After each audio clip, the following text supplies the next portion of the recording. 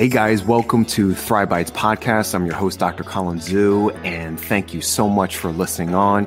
You could have been anywhere in the world and you decided to spend just a few moments of your precious time, and we greatly appreciate it. Here on the podcast, we talk about three things living a plant powered lifestyle, enhancing emotional resilience, and creating a thriving mindset. And I interview a range of passionate guests such as physicians, dietitians, coaches, entrepreneurs, and many more. And please join me as I deliver these engaging, informative, and high valued conversations for you. And just remember the first five seasons of the Thrive Bites podcast can now be found in the new the Chef Doc app, available in your Apple Store and Google Play stores. So, what are you waiting for? Come on inside. Hey guys, what's going on? Thank you for hopping on to another episode of Thrive Bites podcast. I'm Dr. Colin Zhu, and uh, today I have my lovely, lovely friend and colleague, Dr. Jessica Matthews. Um, she is the author of Stretching to Stay Young. A little bit about her: she's a yoga certified yoga um, instructor. She's also a assistant professor, director, and creator, and of the Master of Kinesiology and Integrative Wellness program at Point Loma Nazarene University. And she's a award-winning and innovative uh, educator, amongst other things. And in this episode, we talk about what is the root and the Venn diagram and the interplay behind behavior change. All the different things of how come I can't achieve this, how come I can't do this, um, and be able to dive deep into you know those nuances, uh, the science behind it. Uh, we talk a lot about coaching, what that means, right? And then we also have a short uh, fitness demo where she's going to be demonstrating um, and showcasing for us um, the different stretching uh, techniques that she has in her books. So you don't want to miss this, and I'll see you guys on the inside. Okay, guys. Well, welcome to another episode of Thrive Bites podcast. I'm your host, Dr. Colin Zhu, and thank you so much for being here with us. You could have been anywhere in the world, and you decided to share your precious moments with us, and I am so appreciative of that. So, for today, I have a wonderful, wonderful, wonderful friend and colleague. Um, her name is Dr. Jessica Matthews. Okay we can spend a whole episode just listing out her entire bio, but she is um, a assistant pro, uh, professor, director, and creator of the Master of Kinesiology and Integrative Wellness program at Point Loma Nazarene University. She's an award winning and innovative educator, and she has developed and implement, implemented graduate degree and professional certificate programs at several colleges in Southern California. And she's a masterful uh, teacher of areas such as integrative health and mind body medicine. And she's also a national board certified health and wellness coach and a doctorate in behavioral health with an emphasis in clinical integrative care from Arizona State uh, University. And she's also um, the author of her book that she's going to go into. We're going to save it to the end because we have wonderful, wonderful demo to showcase. But overall, she is a lovely, soul centered person, and I cannot wait to have her on the show. Please welcome Dr. Jessica Matthews. Hello. My goodness. Thank you so much, Colin, for having me here. I'm so excited. I'm even more excited. So, we're going to have such a colorful conversation, uh, even with this is what I love about crossing with different uh, souls in life is that you just know just through chemistry that you know you're going to have such a wonderful conversation even right off the bat before meeting them. You know, just just feeling that vibe, and you definitely you know emanate that. So I love it for all the work you do. So for those that don't know who you are, can you you know just showcase for us you know your point a to point b your super heroine origin story if you will because we're just so fascinated with superheroes now these days because you play so many hats. You have so many different letters and degrees of the alphabet behind your name but what was it what sparked for you to kind of start this transition of this curiosity, this learning, this absorbing of knowledge and application of just health and wellness, you know, into your life? It's a beautiful question to start with. And it's one I so appreciate when people ask, because what I'll open with is basically saying, my journey is not linear in any way. And I always find that that's where the real kind of magic happens in things I never even knew were possible in my professional life, uh, how they translate into my personal life, how I thrive in my life, how I empower others to thrive. And so I give the nutshell version because, as you mentioned, there's so many things I could share. But where all those letters, the degrees, the credentials, which are all important and valid. And as a professor, I appreciate, you know, the curiosity that comes with learning, lifelong learning. But what was the impetus to your question that got me on this journey that has obviously evolved and morphed just like all good stories do? What it really started with is not a bright spot, as many people might think. Um, my family really was for me for getting into wanting to better understand how to improve health and well-being because my family what I grew up witnessing firsthand in my immediate family with people like my mom, with people like my grandmother, my aunts and uncles were chronic diseases and the ramifications of those chronic diseases when not effectively treated. And so things like type 2 diabetes, obesity, heart disease, these are all commonplace. I've been witness to them since I was a small child.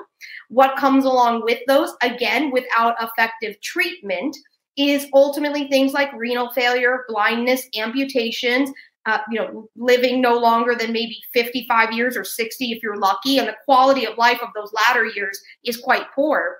And this was to me, I just this was my family. I thought this was, you know, genetic predisposition. This is what my fate is. But I got curious to your you know, word you use. I got curious to say, could there be a better way?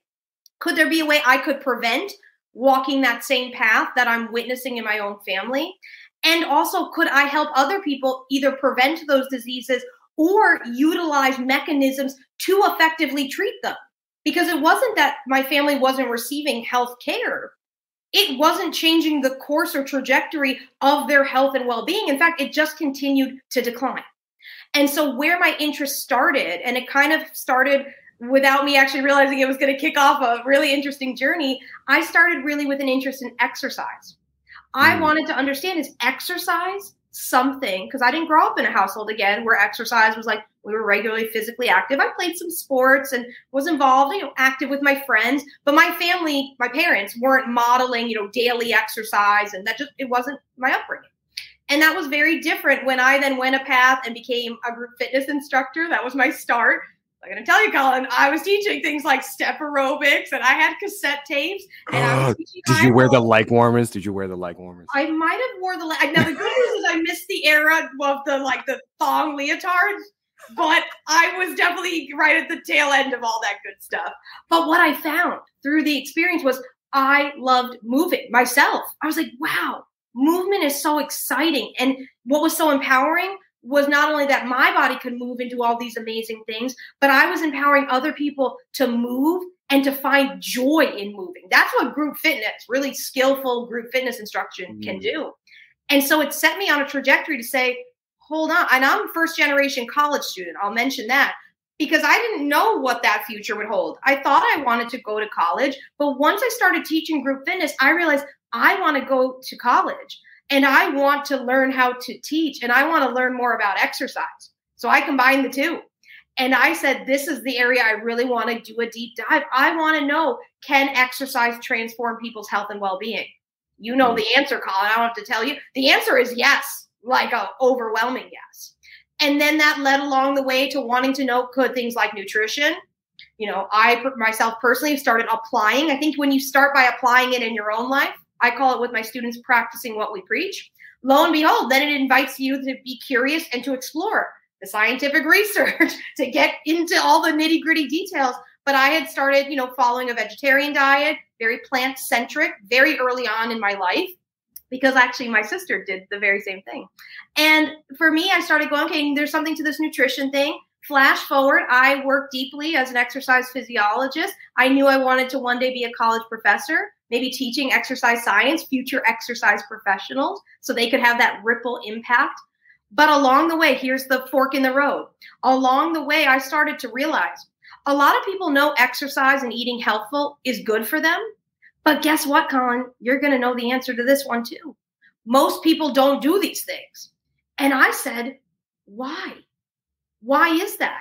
I'm telling them everything I know. I mean, I've got now at this point two degrees. I've got every credential you can think of, and I'm telling people info. And they're not doing those things. They might do it for a moment, but then it, you know, kind of falls by the wayside. And I realized I didn't know anything about, I joke, what happens above the neck, what happens up here. And I was like, oh my gosh, I need to understand human behavior.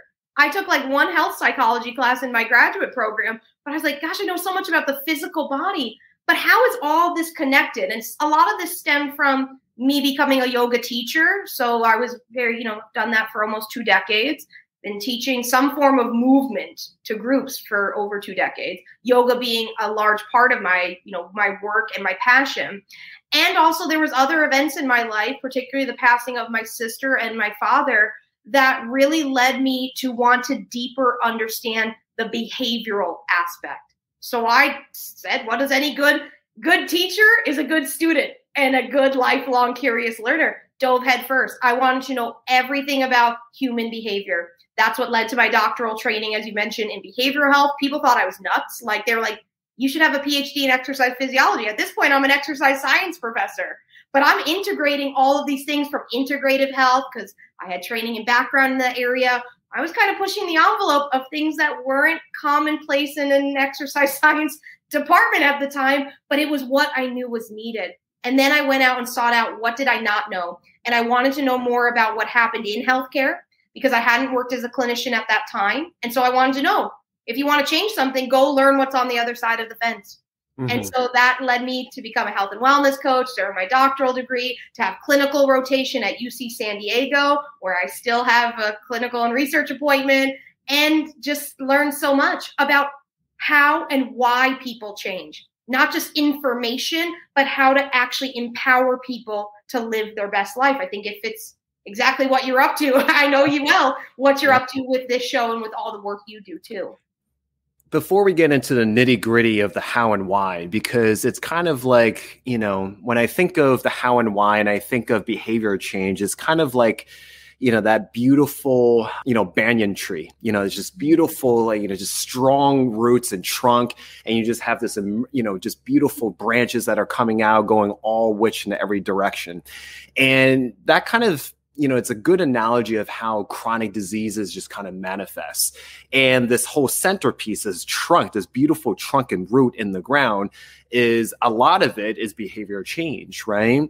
And so before we get into the nitty gritty of it, you know, I want to know just offhand after you've added this part, what shifted? you know what, did you see the changes in your you know your clients you know the the people the you know your audience members that you're you know students that you're like what what what changed for you? And then i also want to ask you know you had family members you know that you know maybe you know not so much you know did that change for your family members as well when you started added this uh, adding this into your repertoire this question lights me up. Okay, can you tell I'm light? I like I have a nice bright shirt on and I get lit up really easily. So it's good. It's just you said we're gonna have a. You're lighting up the. You're lighting up the room. You're lighting up the room. I love it. Just perfect. But what changed? And this is not an overstatement. Everything, Colin. Like everything.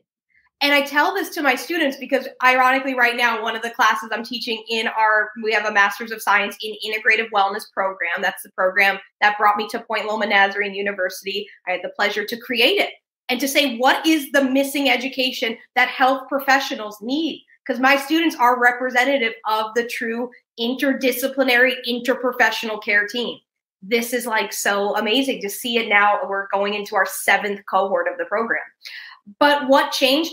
Everything because what changed ultimately was I realized that the times and I'm just going to say this lovingly and any, you know, fellow clinicians, health professionals out there that are listening or maybe just individuals and you think in your own life.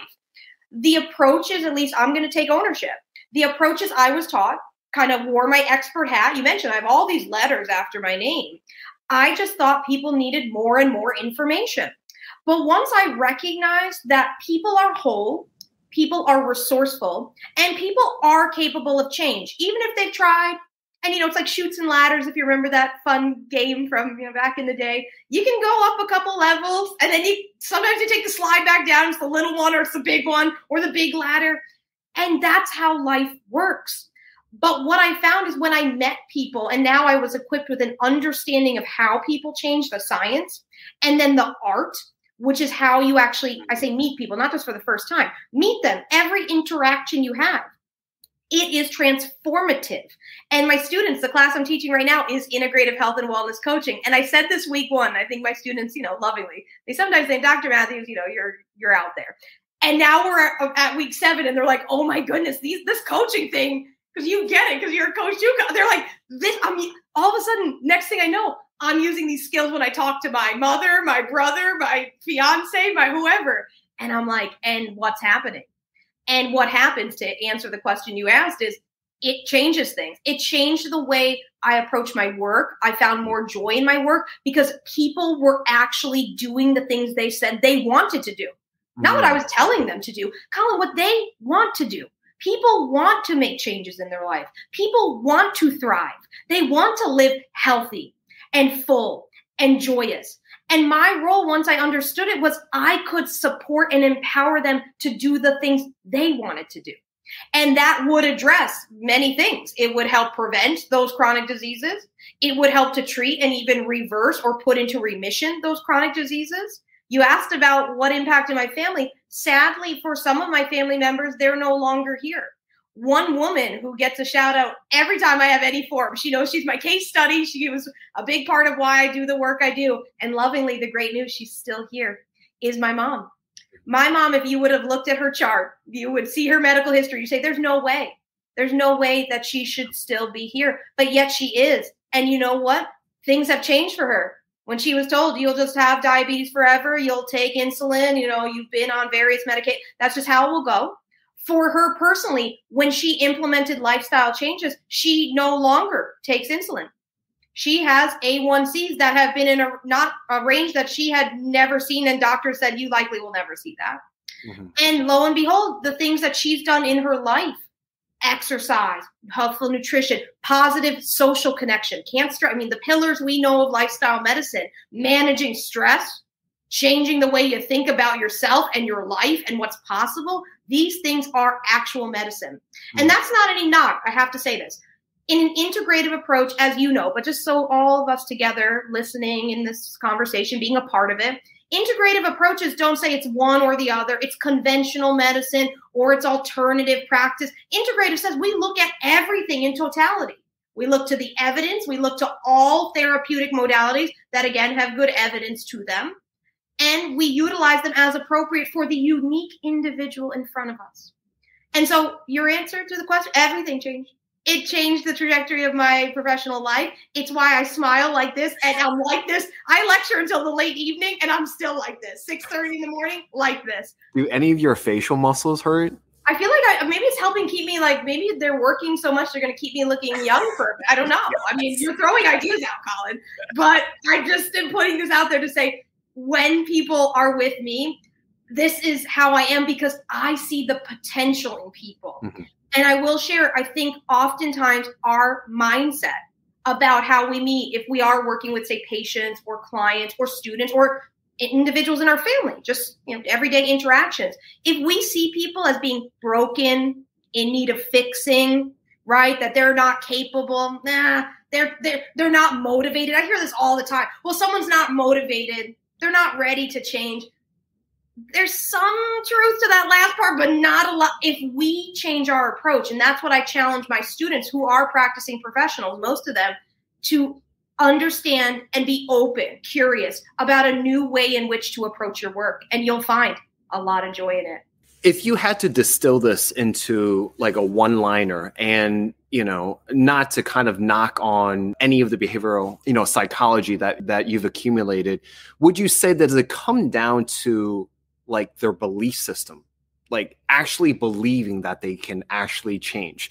So it's not necessarily having all the tools and strategies laid out on the table right? They have all the resources but it's the inherent belief that you know they can't do it or they can do it is really kind of like the catalyst to be able to really moving forward as opposed to moving backwards hundred percent. And I can say it. I'm a New Yorker by background. If anyone hasn't picked that up yet, I can talk a lot, but you said one sentence. You just said it.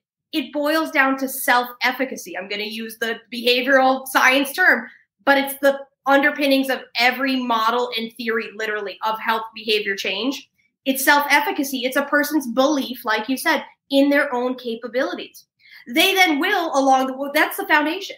Then the tools, you know, kind of the action steps, the things that systematically build, those will come. But it's cultivating that self efficacy, increasing it. I mm-hmm. believe I can do this. That's at the heart of great coaching. It's at the heart of behavioral change. And so, yes, and it's the heart of, like I said, the models, the theories, the geeky stuff, but that's what it is. And it's called self efficacy. But that belief is powerful and should not be kind of just stated lightly. So I appreciate that you, you shared it because that mm. is the heart of it. And it's really powerful. Awesome. So let's make some definitions and kind of step a little bit backwards. So what is a coach at the end of the day? And how does that compare to, you know, someone that works in therapy, someone that's a clinician or a doctor? Like how does that can you can you state for us, you know, what is, what are the main differences? Absolutely. And I love, if I may, I like to flip by starting what are some of the commonalities? Because I always think of this in the same way we talk about nutrition, right? And different, you know, approaches to, you know, dietary habits, eating patterns, quote unquote diets, uh, is what's similar versus what's different. And so across all of these different areas, these health professions, we, I hope, are all focused on the individual we're serving, that patient or that client. So it is client centered. In coaching, now I'll start to make some delineation. In coaching, there is an aspect that really the client is the lead. And that might sound like semantics or that might sound totally out there, but the reality is that people have basic psychological needs, one of which is people crave autonomy. People want to feel in control in their lives.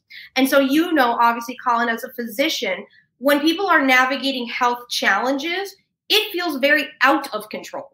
And so when it comes to things like complex behaviors, behavior change in exercise, nutrition, etc., people want to feel some sense of being in control. And so our approach in coaching, how I would describe a coach to answer that part of the question, is truly a partner in the journey. And I'm mm. using those two words, partner and journey, very intentionally. To partner with someone and to say, in my analogy, kind of metaphor I'll give, if we were in a car, the person I'm working with, whether as a client or patient, depends on the context I'm serving them. But that individual is in the driver's seat, and I, as a coach, am in the passenger seat. Clarification I'm not posted up just la- relaxing, taking a nap in the back seat because people hear like client led or patient driven and think that means I'm just sitting back, hands up, and letting them potentially careen off the road. That is not at all what coaching is. But hmm. coaching says, you know what?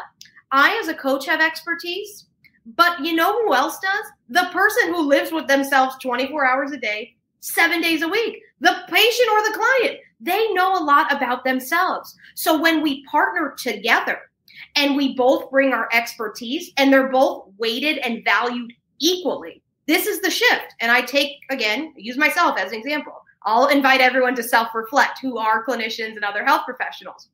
I oftentimes, as an exercise physiologist, would arrive like, I'm the expert. I have the degrees. I went to school. I got the certs. But when you meet people and partner with them and say, I have expertise, you have expertise, oh my goodness, what would happen if we worked together mm. in the direction you want to go? They're the driver of the car. But we need, Colin, when we're going on a good adventure, we need to punch something into the GPS because if not, we'll kind of be just swirling around we could end up who knows where. Maybe a fun side trip, but it could also take us very far from, I use my kind of hand in the air symbol, our true north.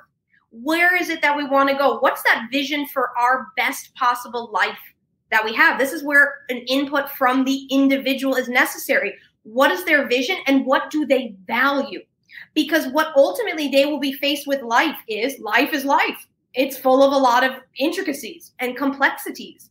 And they will have competing priorities right? This is why people say i wanted to go work out today ah but insert why it didn't happen.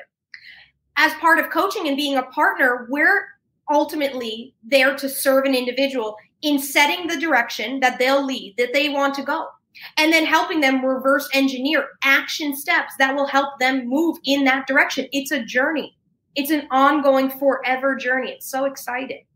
And along the way, we want to know what do they value and prioritize because as we learn their values and this vision they have for themselves and the belief we help empower and lift out of them in their capabilities, this is what will be fuel for the journey. And they will need that fuel because there will be bumps and dips and, you know, things, the weather will change, the stuff you can't control in life. But if we are in tune with a person's values and we meet them with unconditional positive regard, to go psychology for a minute, positive psych, I mean, we meet people seeing that they are capable of doing the things they want to do, Colin, even if they've not had, quote, success before. What we mm. do is what have we learned along the way? How do we take the learnings and translate them into forward action? This is what makes coaching distinct from some of the other professions you mentioned, though there's some overlap too. And I always say a great clinician of any kind can and lovingly should take a coach approach. And I use quotes because just one way to say there are aspects of coaching that can be applied to all health professionals. And I believe it will change the way in which you serve the clients or the patients that you serve. For sure. I love the car analogy where, you know, the client is in the driver's seat and you're, you know, in the passenger seat. And it's such a shift, you know. We did get taught as physicians in terms of the doctor and patient relationship. And it's always been classically and historically, you know, I'm up here and you're down here. It's a one way street. I give orders, I tell it like it is. And so much have I heard through, you know, the years that I've been, you know, serving uh, my patients that doctors you know aren't hearing me. I'm not being listened to. There wasn't enough time and i feel like i'm not really getting anywhere. And it's not necessarily the the provider slash physician slash healthcare professional's fault. A part of it is just not receiving that kind of education. I mean you yourself had to seek out so much you know you know for yourself because you felt like something was missing. You see this great beautiful puzzle picture but you realize that certain pieces were missing. And so you had to actually find those pieces and actually put them in yourself. But imagine if we actually had that same foundational training across all boards and all specialties that would be you know game changing right? And i do agree with you. I think the coach approach is one of the best ways to be able to implement you know changes that is effective in so many aspects of health and wellness. So the how and why one of the thoughts that came to me as you were talking is why is it that patients who are not you know when we're talking about self-efficacy and not prioritizing you know their goals how is it for them getting to the root of it that they are allowing these outside external forces being able to kind of take over or kind of overwhelm their self priorities and let those forces drive you know the car or drive the boat. You know how how because i've encountered so many people that have let these outside forces kind of you know drive it for them you know? Is it because of society their upbringing you know maybe different forms of trauma? Like what is it that you know they deprioritize themselves? You've touched on many of them and it's why we take uh, to use some terminology uh, that social ecological model or socio ecological framework you often hear it referred to is that there are all of those things and it starts from kind of this inner circle and then you have these kind of concentric circles that go outward. The inner ones start with ourselves. It's intrapersonal. It's what we believe. Part of what you shared, those can be things like, you know, what beliefs we, you know, were formed from our upbringing, what beliefs we hold today. So we might, you know, the way we think, as we may talk about more, does basics of behavioral science says the way we think actually impacts the way we feel, and in turn, the way we act. And so, to that part, the act part is do we take those action steps in the direction of our well being in the area or areas we say we want to? Because mm-hmm. it's not someone else telling. These are the patients are saying, this is what I want to do. And that's again the shift in coaching, which is so powerful. So, our work is part of how do we support you in being accountable to you, not accountable to me. Like, you're not getting a graded homework assignment but you say you want to do these things. So, yes, it starts in that inner circle. We could extrapolate out because there's a lot of layers. You highlighted a few. Then there's the interpersonal. So, those are our relationships, the people we surround ourselves with, those have impacts. Our communities that we live in or have grown up in, public policy. I mean, it, that's how big it keeps getting.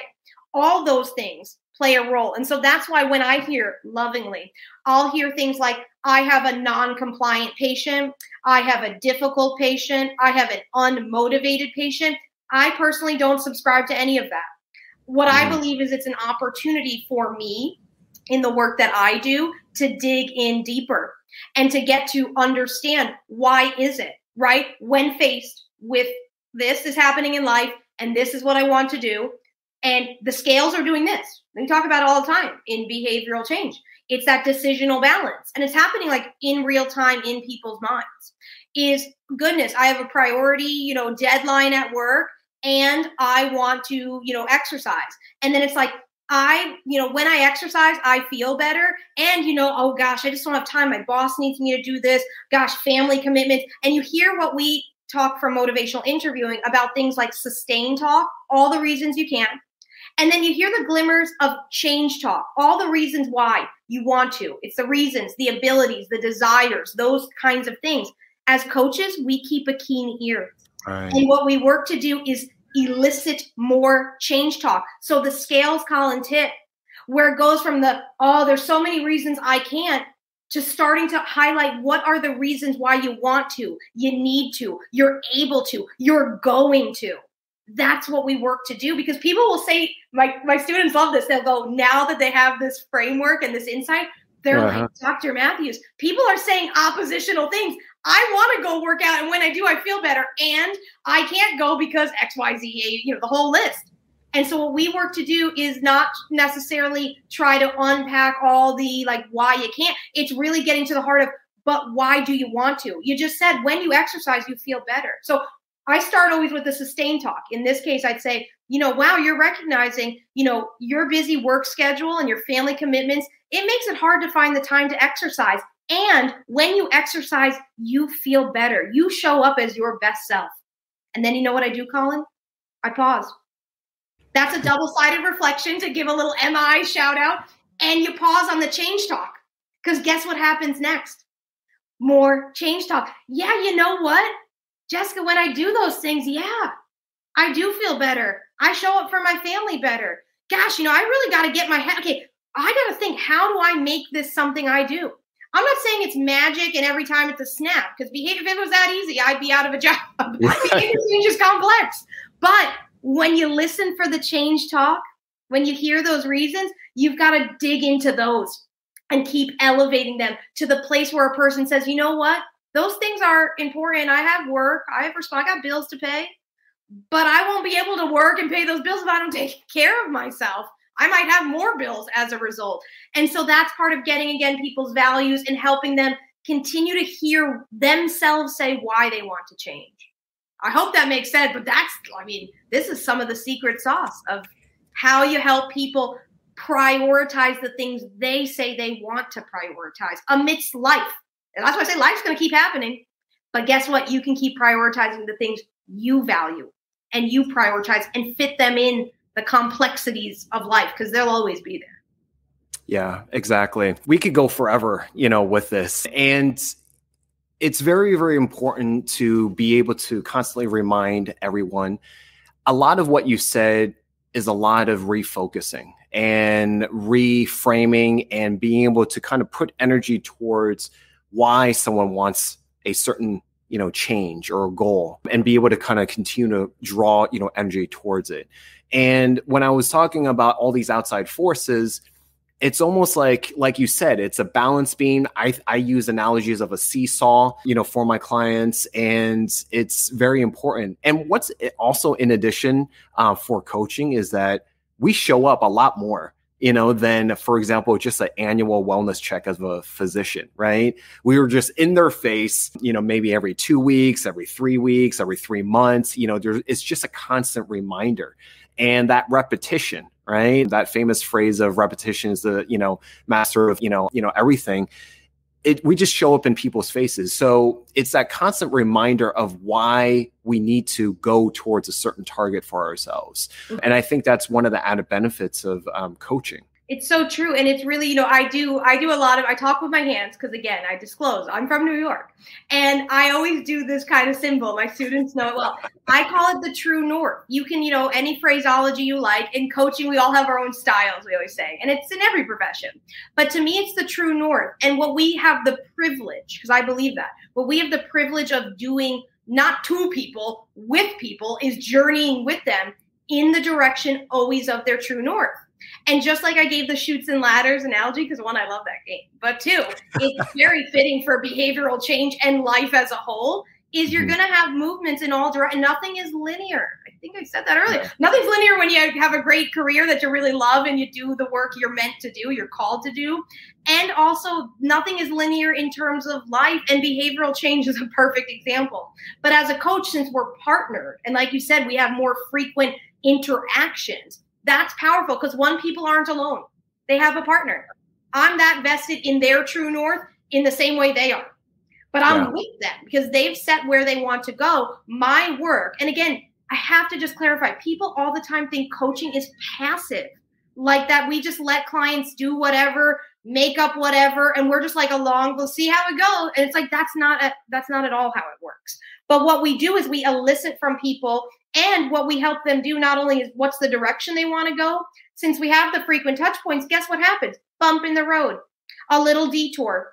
Something didn't go according to plan. We call them experiments. We tried something out, it didn't work. Life's happening, right? Maybe it's a really busy season of life at work, at home, in your community, however you're involved. Great, that's life. It's always going to work like that.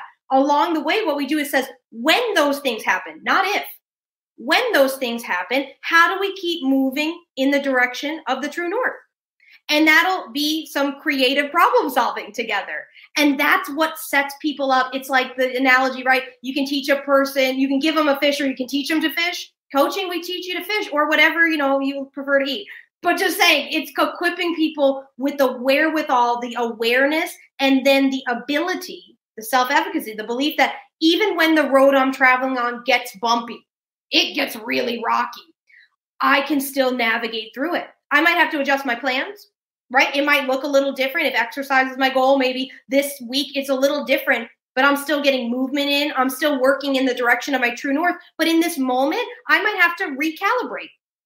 That's great. This is what we should all have in all facets of our life, but that's the privilege we have in coaching is helping people understand when those things occur, not if, how will we continue to navigate in the direction that we set our GPS to? Yeah, yeah, I love it. So I I, I look at things in terms of a pr- process and, and and practice, and you know it's not always about the end destination. And even if you meet those goals, right? it's important to continue to shoot for new goals, mm-hmm. right? And to shoot for new targets for yourself.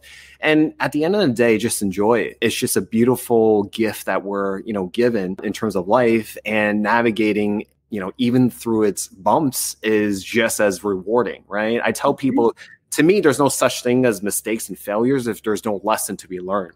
Um, and they're just mile markers for you to continue to progress on your journey. So, Dr. Jessica, we can, um, you know, talk all day long. I do super super excited about this want to transition into um, a demo but before we do that um, one of my favorite you know uh, questions to ask is this podcast is all about thriving and for you you're just a ball of light and i'm curious if you can share with the audience what lights up your fire. We are we already know the community you serve lights up your fire, but what continues to solidify that foundation to keep you grounded, so humbled from my point of view, um, but still gets you to really, really just do this effortless, you know, work that you do. It starts really to me the first thing that comes to mind because I do believe this might sound bold, but I believe if you were to, you know, really say, why are we all here? What is it we're here to do?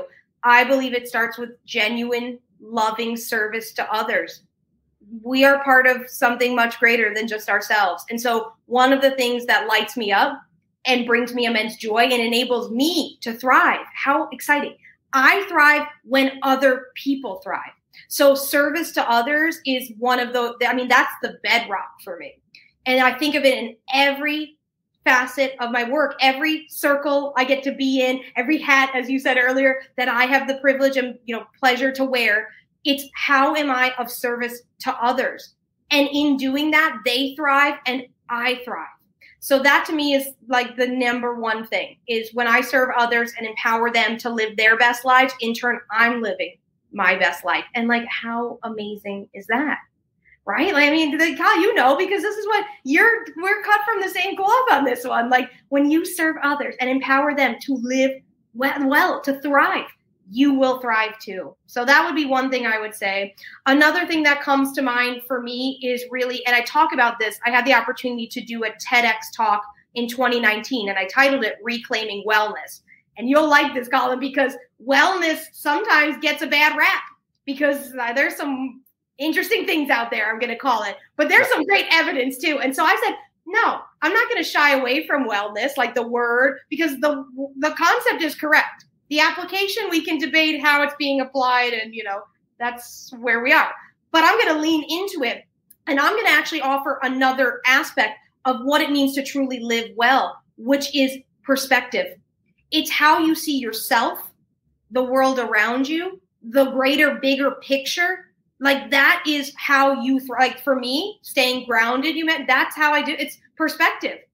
I've had a lot of adversity in my life guess what? So do other human beings. It's part of being human. I've had immense joys. I've had deep sorrows. I've had the full spectrum of the human experience. And every day I get to choose how I wake up and see the world, how I wake up and see myself, the people I serve, the world around me. My perspective shifts my reality. And so if I see the world as this complex and challenging, but yet it's so beautiful and awe-inspiring place, and the people in it, they're just rad. I mean, like that's how I think. And that changes your entire life. So I will tell you, as we talked about before, the way you think will change the way you feel and the way you act, and it will transform. That to me is the heart of really living well and thriving. It's how you see yourself and the world. And you can always control it. Remember that part I said people want autonomy, they want control? You can't control, I say it in my TED talk, all the things like the weather, the road conditions, but you can control how you meet those and what your perspective is. You can go, This is a cool adventure. Wow, I didn't plan on this today. Got to put on my raincoat. Or you can say, This is a terrible day. Wow, how miserable your perspective is everything. So that I think is another kind of core tenant foundational piece for me of what keeps me really grounded. And then to be honest, it's living into being fully who I am. This I share personally and professionally, and I share this with people. Think about the way you show up in the world. When you meet Jessica as just a human being roaming the streets of Ocean Beach, is where I live in sunny San Diego right now when you're in a classroom with me, if I'm up on a stage speaking, I am the same exact person. I have the same values. And the cool part, Colin, what enables me to thrive is my values are front and center. They are demonstrated in my actions, not just in my words. And when I stay true to myself and those values, man, am I on fire. And that's what I encourage my patients and my clients to do to always be yourself, your beautiful, complex, great self only one of you, and always lead with your values. Surround yourself with people who love and accept you for exactly who you are and stay true to what you believe because you'll go great places. I love it. I love it. Dr. Jessica, it's been such a privilege and honor. We're not done yet, but we're definitely going to be shifting towards uh, the demo. Can you share a little bit about what you're about to uh, demonstrate for us? Absolutely. And I'm excited. I love that we get to have chat. And like you said, we could chat for hours, but also fun takeaways. And an aspect, as I shared, you heard a little theme. Um, you know, I address all areas of health and well being, body, mind, spirit, all that's important. But I mentioned the historical kind of, you know, my roots, if you will, professionally, really being focused on exercise and the movement, the, the power and joy of movement and its ability to be truly medicine. And so, one of the things along my journey is you touched on it when you graciously and very kindly introduced me. I did have the opportunity to write a book. It was published in late 2016 titled Stretching to Stay Young. And of course, you know, just casually have it like it's just always right here. So it's just nice and teed up. But what I just, you know, it's funny. I mentioned that kind of being flexible, and actually, the dedication is to my mom and to my husband of saying thank you. Thank you for helping me in my life, supporting me, loving me, and keeping me flexible in my approach to life. So, mm-hmm. a little mm-hmm. kind of pun mm-hmm. intended there. But one of the things I found with regards to movement is there's so much to find in movement joy, immense health benefits. That's physically, mentally, uh, cognitively. I mean, there's like really a lot there. And the evidence continues to grow. Well, interestingly, I will share, I always disclose what's fascinating as we gather more evidence about really the power of physical activity, right? Because physical activity expands all structured exercise, you know, just, you know, continuous movement. All of these things have the ability to transform health and well being. And that to me has always excited me. 20 plus years later, it still excites me just like it did back when I started. But the part that's interesting is where the research is, there hasn't been as much around an aspect that's actually for quite a long time has been a part of the physical activity guidelines, which is flexibility training. And I use that terminology because stretching, we often think about, we're going to do a little stretching. That's where we're going. But flexibility really, you know, the definition is to, to address essentially range of motions of our various joints. And what I always like to think, and one of my great colleagues always talks about this with like exercise or movement, it's the freedom and ability to do what you love. And shout out to my colleague Pete McCall, because he always talks about that's what it's all about is to have the ability the freedom to do what you love. That's why we move and we move with joy because wow, we can move with joy.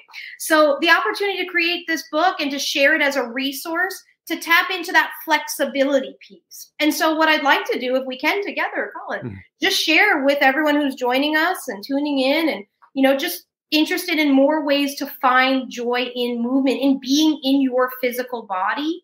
That's what I'd like to offer. If we could go through just a couple of stretches. And what I, you know because of our setup today we'll just do things seated.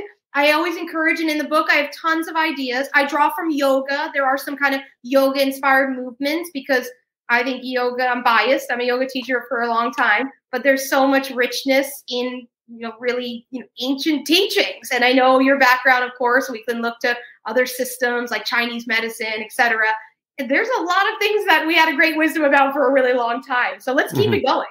But yeah. stretching is just an opportunity. And the stretching I talk about in the book and that we're going to do together now, it's a reminder that it's not just static stretching like people think of in maybe back in the day physical education class or a PE class. Static stretching is one way, that's one type of stretching, but dynamic stretching, ways that we're, you know, preparing for maybe, you know, a more structured workout, forms of exercise, uh, how we're transitioning after we've been engaged in formal activity, kind of that cool down. What can some of those sort of practices look like? We can get into things like, you know, myofascial, self myofascial release, things like foam rolling, people are sometimes familiar with. So I talk about all that in the book because there are different mechanisms by which to address this broad topic of flexibility has many hmm. layers so again just thinking about different ways we can move one of the ways and this is something again kind of borrowed from yoga though it's not the only place it occurs but is this sometimes referred to in yoga as cat and cow pose and again it can be done on all fours you know, on the ground. In this case, because we're just, you know, seated and having a conversation, you could do this seated anywhere. You could be on an airplane in your office and you won't be, you know, you won't be too crazy doing it. But all you'll do is you'll actually take your palms and you'll place them on top of your thighs, just right above the knees. And this actually is more of a dynamic stretch, or really more of a motion exercise. And so, what I like to use is I use the breath, and I'll tell why in a little bit. But using the breath, we can inhale and just guide your chest forward, gently arch the back. You can tilt your chin, look up with your eyes as you breathe in. And then breathe out through your nose and just start to round the back. You can draw chin towards your chest and just let the movement really initiate from the upper back. So inhale again, Start to arch the spine, let the chest come forward, look up, chin up. And on the exhale, just start to round, kind of coil, pull in, and lean back. And you might even feel if you're in a chair, the back of your chair. And you can do this a few times. I can keep talking and you can keep moving, Colin, because teaching group fitness for a while, I can do both. And as you exhale again, that kind of reverse motion. Now, this again is not a stretch in terms of holding an end range. So keep breathing in as you move forward, that arch spine. Keep breathing out as you move back. But it's rather intended to be a motion exercise. And the reason being is it's actually intended to increase mobility, range of motion in the thoracic spine, the upper back. And after you complete your last time moving back, you can just take a nice seat, sit upright. But that's a seated version of cat and cow pose. Again, you could do it on all fours, same motion. But if you're, you know, space limited like I am today, in a chair works great. But oftentimes we don't think when we think about flexibility that it's not only static stretching, which we're going to do some of that too, but things like that are dynamic stretches or range of motion, kind of movements. They can be really beneficial. So that's something I like to share because they make for great kind of warm up, sort of prep for whatever activity you're going to do. That's a great place. Uh, they also make for just great movement breaks during the day too. If you've been, you know, more sedentary position, it's nice to. Again, I'm staying seated, but you could get up. You can get on the ground. There's also great benefit I will share from a functional standpoint of getting down on the ground, getting up from the ground. So again, other benefits of you know changing your orientation. But that's a little cat and cow and I share it in the book. Now, another one I would like to do that actually is a little range of motion. Again, it'll sound so simple, but Colin, guess what? The best things in life, they actually they sound simple, but yet they don't always get applied. But if we did it, wow, what a change. We're going to actually go down, meaning down to our feet and ankles. So again, you can't see it, but I'll describe it. What I'll invite you to do is take your hands and take your right leg and just lightly hold the back of your right thigh just above the knee. So now your foot's lifted just you know, a couple inches off the ground.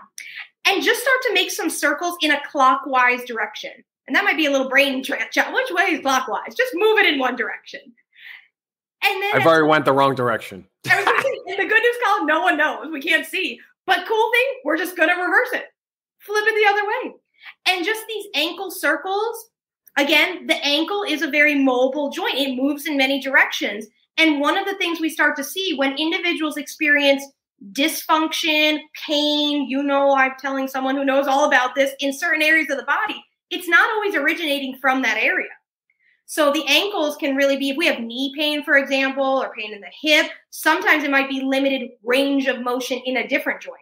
And you can also do things like this. I invite you, Colin, and everyone who's tuning in and following along. You can just do things like point your toe down towards the ground, plantar flexion in the ankle if you want to get fancy.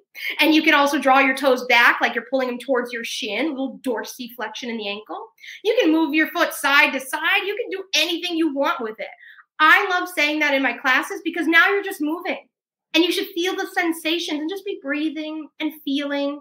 And then I'll invite you to release and switch and do the other side. And as we're doing that, so you know the ways, the cool thing I share with even my yoga classes, because I call them mindful movement. And the neat news all movement can and should be mindful. It's not just yoga and Tai Chi and Qigong. I mean, they're great, but all movement can be mindful. When you bring attention, feel the sensations. Does one side feel different than the other? Just take note. No need to dwell, but just notice. And just what does it feel like? Where am I feeling it? Again, these range of motion movements these are powerful.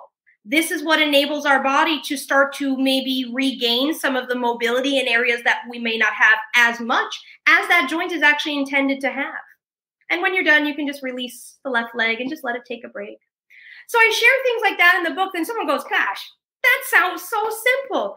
But when we attend to these things and we attend to it with the right intention and understand why we're doing it, you may find new things if you're open and receptive.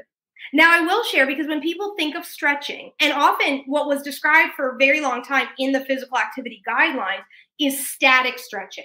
So, by definition, static stretching is you know holding a stretch to an end range or an end point and just kind of being there. And so, I'm going to use one, and this may just for a moment. If you lose sight of my hand, it'll be okay. You'll know it's still there. But I'm actually going to, I'll invite you to use your right hand. And so to mirror you, great group fitness instructor, I'll use my left. And all we're going to do is just on a big inhale through the nose, just reach up. Just let the arm come right alongside the ears. First, just start there and go, wow, what does that feel like? Maybe you've been typing all day, you've been working. Be there. Take a big breath in. And on the exhale, reach up and start to reach over. And so we're creating a little bit of a side body stretch here. So you should feel some sensation on the right side of the body when we start to again we find kind of that end range so what does that feel like it's interesting in static stretching we were always told it should feel kind of uncomfortable. But there's some new thinking about you know what is that doing or what's the nervous system communicating to us if it feels uncomfortable. So you can play with what's that point where you feel sensation but it's not feeling like gosh if i stay any longer it's too much. Static stretching guidelines say to hold each stretch for at least 15 seconds, ideally working up to 60 that can be broken up. And what I say is focus on your breath. If you take five deep inhales and exhales through the nose, you don't have to watch the clock because average human breathes 12 to 20 times per minute. And so you can start to come back up, right? And then just relax the arm down. And what we do on one side, we must do on the other. And so on a big inhale, start to reach that opposite left arm up and just pause there for a moment. Even this is powerful. Someone would say, What's the benefit of this? A lot. We're moving our body in the various ways our body, in this case, particularly focusing on the shoulder at the moment, the shoulder joint can move, just one of them, anyways. Big inhale, reach up a little higher, like you're trying to touch the ceiling. And then on an exhale, stretch up and over. And so as you stretch now, we're feeling that sensation a bit on the left side of the body, and you can look wherever's comfortable. Sometimes it's straightforward. Some people like to look down or look up towards that arm. It's whatever's comfortable.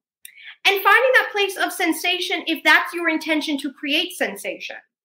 If you focus on taking five deep rhythmic breaths in and out through the nose, one, we actually invite a little bit of the relaxation response, even though right now the nervous system, if you're feeling like, wow, Jessica, this is this is intense, the nervous system's talking to you. And so that's why we have different ways in which to work on flexibility. As you take that final breath in and then out through the nose, start to come back upright.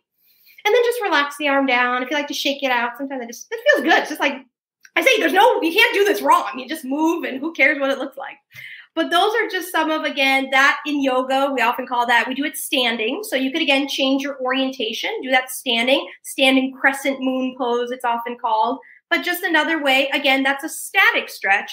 And that tip I offered about breathing, using your breath as sort of your count instead of, was that 15 seconds? Was it 30 seconds? Use your breath because also that creates more mindful awareness. And just notice what you're feeling in your body, the sensations as they arise.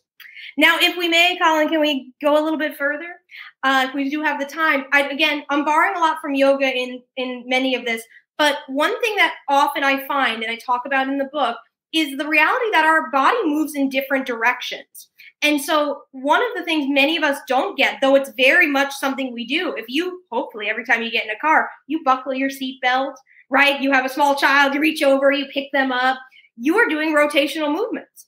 And so, it's wonderful to think how can we integrate that into the movements we do in our structured exercise or just in these stretch type breaks we're taking, again, in the spirit of increasing flexibility, range of motion. And so, what I'll invite you to do is to take your right hand and place it on your opposite left thigh. Then use your opposite your left hand and place it back behind you. If you're using a chair like I am, you can just place it anywhere kind of back behind you. And on a big inhale, sit up a little bit taller. Let your spine lengthen. Let the crown of the head draw up towards the sky. And on an exhale, just begin to twist, but lead with your chest. So think a string is connected to the center of your chest and let it start to rotate you in one direction. Now I'm just turning to face the camera only because so you can hear me. But this rotational movement, again, you choose the end range. It should not be uncomfortable. This is not a you know no pain no gain situation, but it's a place to just explore the fact that the spine rotates, that we can move in various directions. Again, you could use the breath. We could take five deep, rich breaths here. Each inhale sitting up just a little taller, a little more length in the spine. And each exhale, just either being right where we are, or maybe the exhale takes you just a quarter of an inch further as you rotate. Again, these are choices you'll make based on your intention of why it is you're engaging in this particular movement. And then when you do feel ready, you can start to unwind, come back to center, face forward. I see your smiling face, Colin. And then, of course, what we do one side, let's do the other. So in this case, now we will take the left hand, cross it over to the right thigh, Take the opposite hand and just place it, if you're in a chair like I am, towards the back of the chair. Big breath in through the nose, sit up a little bit taller. And an exhale through the nose, just allow the body to start to rotate. Think movement from the chest. This is again an opportunity to explore, and that's a word I like to use explore the range of motion of the thoracic spine, because that area of the spine is designed to be mobile. And sometimes when people experience, again, sharing things that Colin knows intimately, given your background, sometimes when people experience dysfunction or pain in certain areas, it may be because of a lack of mobility in areas potentially right above or below it or in some other part of the body too. So these are just again borrowing a little bit from yoga. You can take those rich breaths. And after you take one more full inhale and one more full exhale, you can just start to again unravel, unwind, and nice and easy, just come back to center. And I hope that in just sharing a few of these, you know, it's again, they seem so simple, yet what's so interesting is so many people say, when I do them and I do them actually consistently, I notice a difference. Not only how I feel in my physical body, but how I feel mentally, right? How I might just feel, you know, if I'm having a day that feels particularly stressful. That's why I love the integration of breath because breath alone, as you know, is so powerful. But in this case, it actually can be a tool for us, a facilitator of helping us gauge time when we're doing things like static stretching.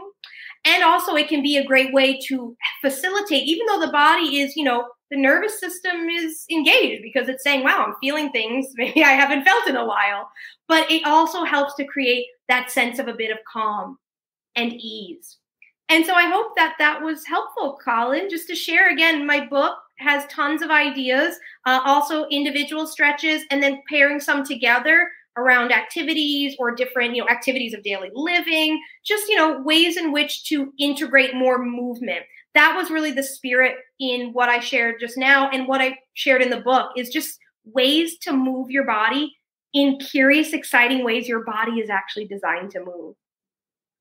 I think, you know, when we're when I'm engaging all this, it's nice to be reminded that I don't just have to sit and just stay here and that I can still move within, you know, the position that I'm in, right? So a lot of times especially more during the pandemic, we are just relegated to just sitting or standing, being sequestered, just being really just more inward, right?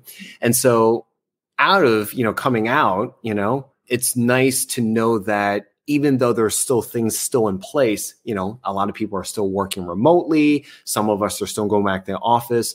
We still have chances to be able to move, right? And then, and mm-hmm. what I love about what you said is that it's really about being creative towards your own unique situation. So it's nice to know that even if we're sitting, I don't necessarily need to think or carve out time mentally or space, you know, mentally that, oh, you know, I got to go to the gym in order to move my body. I can still do this while in place. So I appreciate the reminder. It's so great. And I just to like really drive that home. That's why I often say things like movement. And that's not to discredit or discount. Structured exercise has immense benefits. We have rich literature to that, and just creating more opportunities. So it's not a one or the other, but ways in which to move more. Like you said, in whatever context we're in, we can always find creative ways. I mean, one of the examples in my book is if you're traveling on a plane. I mean, you're you're in a seat probably about this big, and it's like, what can you do? You can do something and that's really yeah. empowering for people and it feels good it feel it just refreshes the mind it you know feels good in the body it enables you to work again on range of motion of those various joints that sometimes we find because of repetitive movement or maybe lack of activity over time, many reasons that may just not be expressing in their full capabilities, their full range they're intended to. So that's really the spirit and why I approach the book with static stretches, dynamic stretches, self myofascial release, which isn't a stretch per se, mm-hmm. but to share that there's so many creative, to use your word, creative ways to engage our bodies. And my thing is to find joy while doing it. Because then you'll do it again. If you this is part of it too. If you enjoy it, guess what's gonna happen? You'll be more yeah, inclined to do it for again. sure. For sure. And that makes it sustainable. That's what I tell my patients too. It's if you don't enjoy it, it's not going to be sustainable. And, you know, it's not going to work, right? And the goals that you want are not going to be achieved because we just haven't found a creative outlet. So, Dr. Jessica, thank you so, so much. I really, really appreciate it. What are some things that you like to share, promote, highlight? You know, I think you have a conference you know, coming up, right? It's coming up or already passed. It's coming up, it's, right? It's coming up. You are so right. And thank you for the invitation to share. I do. So my husband and I are co-hosting a conference. It's the first ever health and well-being coaching conference. So we talked all about what is coaching and you know what's all that about. And it's not just for coaches, it's for anyone who's interested in learning more about really what we talked about around behavioral change, that coach approach, deepening coaching skill sets. And so the Health and Wellbeing Coaching Conference, that's the web- name of the event and that's the website where you can find out more. But we have amazing speakers. We're covering everything from behavior change, which is the foundation of lifestyle medicine, foundation for well-being. We are covering so many diverse topics with great speakers. That's happening June 17th and 18th here in sunny San Diego. So I would joke, never a hard sell to say come hang out in San Diego and talk with really cool people about really great things. Uh, but that's something I would love to share with the audience. And anyone who does hear this and wants to join, please do reach out to me. I'm at Dr. Jess Matthews on all social platforms. You can also email me, Dr. Jess Matthews at gmail.com. I would love to offer your viewers, your listeners, a special discount if they'd like to join us. That's just an invitation, should that speak to someone. But check it out. And we're really proud to, you know, be able to be a space to bring people together around the very things we talked about because they are transformative. And if you lead from wanting to serve others, then you're going to fit in really well at our event.